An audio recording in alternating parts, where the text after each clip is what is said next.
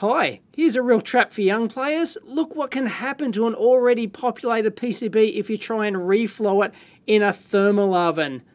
Hmm, I don't think our connector's gonna fit anymore. Oops! Look what's happened to all these through-hole connectors on this Samsung uh, dumpster dive 56-inch LCD TV I've got. Whoa, look at that. Just melted them. Ugh, horrible. Look, the uh, flat flex connector survived just fine. Why is it so? Now, as you saw in a previous video, and if you haven't, I'll link it in down below, check it out, where I tried to repair this 46-inch uh, Samsung LCD TV I got in the dumpster. And I successfully uh, reflowed the T-Con processor board here in my reflow oven. No problems whatsoever. Unfortunately, it didn't fix the uh, fault, but I didn't actually damage the board at all. So I thought, eh, you know, I'll reflow the processor board. Um, so I took it out, whacked it in my reflow oven, exactly the same thermal uh, profile as what I used for this uh, T-Con board, and that's what happened. Mmm, bummer. So why was there no damage to this uh, T-Con board at all, even though it's got a very similar looking connector up there, but this one just melted all of these connectors right along the edge here. Well, if you'll notice, these are actually uh, through-hole connectors on the bottom here. I've actually um, uh, desoldered a couple of them, but you'll notice that these are all through-hole connectors. Every single through-hole, there's four of them, and they all melted on this board. Whereas the T-Con board here survived just fine, but you'll notice this connector up the top here is not a through-hole connector. It's actually a surface mount connector, and that's the key to what's happened here. Because as a general rule, surface mount connectors like this one, even though it looks um, almost identical to this one, apart from all the melting, is that these surface mount ones are designed using higher temperature thermoplastics to actually survive the reflow soldering process used in uh, surface mount boards like this one. And likewise with this uh, high density ribbon cable surface mount connector, it's designed with plastics which are designed to survive the temperature profiles. And these uh, through-hole ones are clearly not as higher temperature uh, rated or for as long. They might survive the same peak temperature, but these uh, this particular uh, type or brand or model or whatever might uh, actually survive them longer than these particular through-hole ones here. Because when you solder through-hole uh, components, of course, you're only heating the individual pins on the bottom if you're hand soldering or if you're wave uh, soldering. Of course, there's a big bubbling solder wave under the bottom here, which then goes along and heats up all the individual pins. And the individual pins are getting hot. They can get just as hot or hotter than uh, the entire connector here, but that is the difference. In a reflow oven, the entire connector, including all of the plastic plastics is slowly brought up to temperature, slowly rises up, gets hotter and hotter, and all of the plastic gets to that temperature. So if they're not designed to survive it, like these ones here clearly aren't, then oops, that's what happens.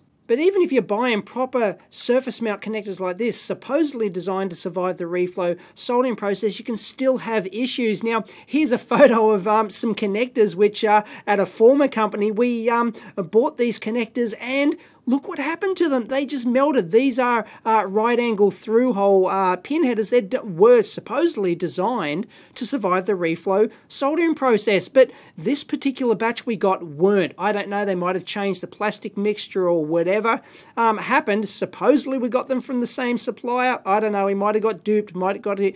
Might have gotten uh, cheap you know, clone rip-off uh, parts from the Shenzhen market or something, but that's what happened from one batch. We ordered another batch, worked perfectly. So, yeah, you know, it, it's all to do with the type of plastic and the temperature uh, rating of the plastics used in the connector.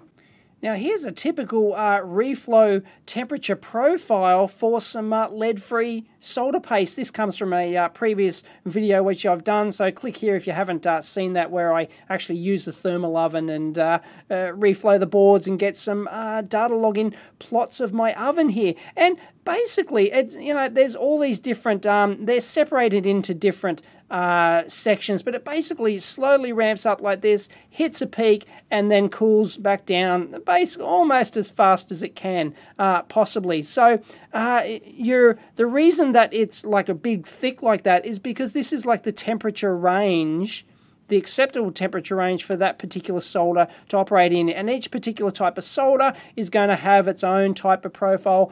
Different parts can have different temperature profiles. You'll often see uh, temperature profile recommendations in uh, component data sheets as well. And likewise, for surface mount components here, you go look up the data sheets for them and you'll likely find a uh, thermal profile uh, for some of the better manufacturers. For example, here's a data sheet for a Hirose, which is a pretty reputable manufacturer of uh, these type of connectors, the DF13 uh, series. Look, here it is, recommended temperature uh, profiles. And you can see the preheating uh, phase here. These are the different phases I was talking about of the soldering process. And look at this. Look, max 230 degrees here for 60 seconds soldering. If it goes over 60 seconds, all bets are off, right? They, they don't, basically do not guarantee that, uh, and, and it tells you down here as well in this table, look, more than two, um, soldering more than 220C for 10 to 30 seconds. So, you know, if you go over that, the things can melt and it doesn't take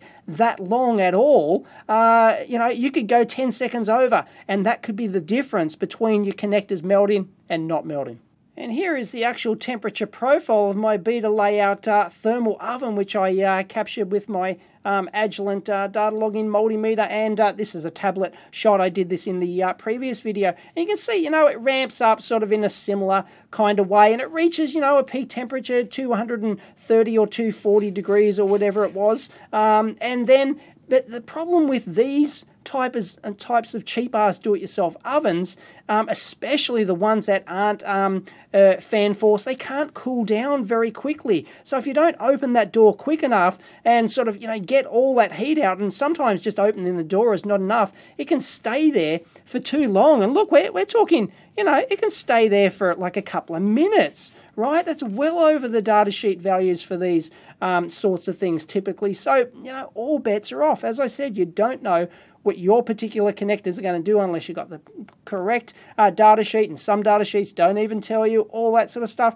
So it's all pretty hit and miss. But basically, yeah, you've got to not try and keep them at a hot temperature like this for too long, just the absolute minimum required. So it's a really fine balancing act. So in the case of this board here, we just got unlucky. And, uh, well, you know, you could have uh, thought that, well, okay, these are through hole connectors, maybe we should take care. I actually, by the way, put the board in like this, so these connectors were at the front, so I couldn't even visually monitor uh, those connectors uh, at the back here. So, you know, if I really had my uh, brain um, in gear, and I know this stuff, so I should have like gone, oh yeah, okay, should be extra careful with uh, you know, these through-hole connectors, maybe there's some issues there or something like that. Put them at the front, really start to monitor them. But by the time you start seeing it melting, it's probably too late. So, yeah, um, yeah, oops, just completely kamigutsa. And other data sheets for this uh, TE connectivity one, for example, um, this is a through typical through-hole uh, boxed pin header like this. And um, uh, look, it's wave solder capable, okay? It doesn't say anything about reflow at all in this data sheet. So unless you specifically went and asked the manufacturer, that you know, you, you just don't know if this is compatible with, say, the uh, paste uh, in pin uh, soldering process. And that's um, here's actually a uh, shot courtesy of uh, Phoenix Connectors. They've got a um, like an app note uh, thing on this, and this shows how you can actually reflow solder regular through hole connectors using a reflow oven process. You actually put paste inside the hole, then put the connector in, and then reflow it like a surface mount component. But if you use one of these uh, connectors which doesn't have the high temperature uh, thermoplastic in it to enable that, and it's only wave solder compatible, and you haven't checked, well, you can kamigutsa just like this. So, the moral of the story just be careful using these cheap ass do it yourself thermal ovens. They're not that great, they're not that precise, not that controlled, and just be aware that you can actually have problems like this. And in this case, I was probably a bit gung ho, you know. I just reflowed the uh, T-Con board and it just survived fine and dandy. So I just whacked this one in, uh, not giving it a second thought. Oh, silly me through hole connectors on the side. Because apart from that, everything else on this uh, processor board survived just fine. It was just this right angle connectors.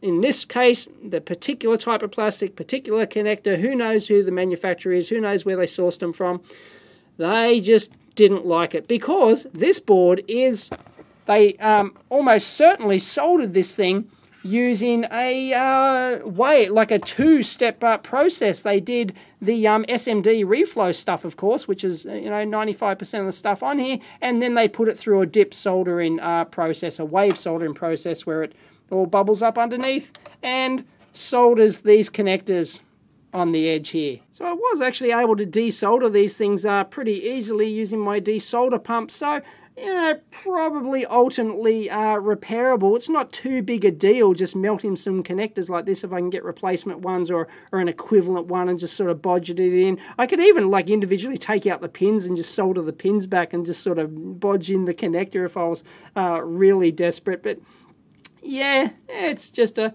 little oopsie. Trap for young players. Yeah, I got caught out. Hope you learned something useful out of that video, and if you liked it, please give it a big thumbs up and discuss it on YouTube and over at the blog and everything else. And by the time you see this, I've probably got a new website over at eevblog.com uh, as well. That'll be uh, uh, like I'll slowly be adding uh, more features and stuff to that um, over the next month or two. So check it out. Hope you enjoyed it. Catch you next time.